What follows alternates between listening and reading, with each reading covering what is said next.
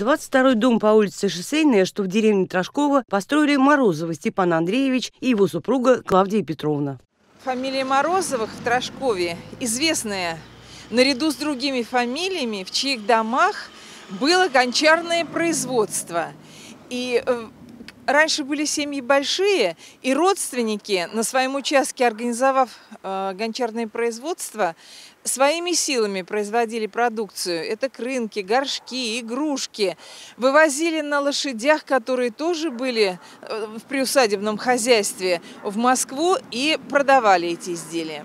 Поэтому, конечно, такие люди жили зажиточно. И после Великой Октябрьской социалистической революции настало время коллективизации.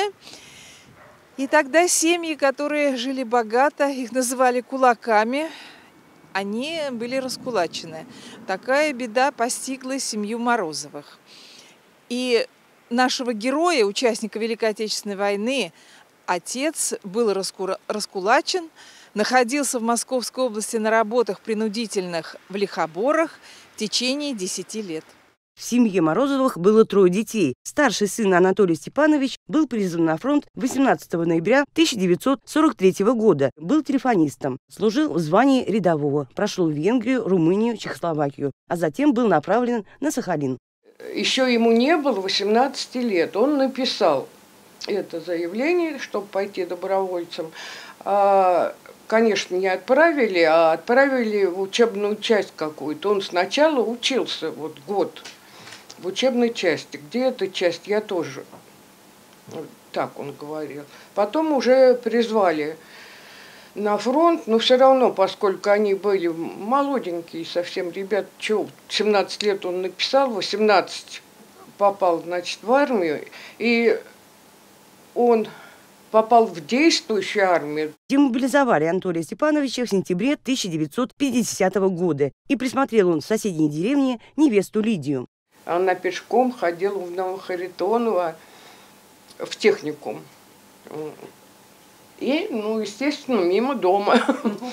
И приглянулась отцу. Пожалел что-то ее, говорит, ходит каждый день. Ботинки детей много, ботинки раздолбанные. Я, говорит, ее пожалел. Вот и женился на ней. После военные годы Анатолий Степанович работал трактористом на предприятиях «Гжели». А детям и внукам вы рассказываете про своего отца? Конечно, рассказываю, рассказываю. Но они... Никто не застал его. Один только старший, ему сейчас 27 лет, ему было, когда я его сюда привезла, но мне волей судеб пришлось его самой воспитывать, он маленький был, год семь месяцев. Конечно, он, наверное, не помнит его. А рассказывать рассказывала. А по характеру какой был, был ваш папа?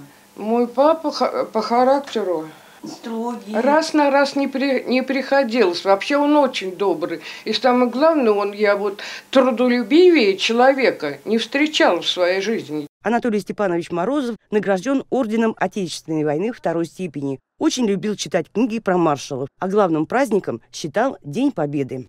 Андрей Пластунов, Ольга Скрябина и Андрей Минкин для программы «Городские вести».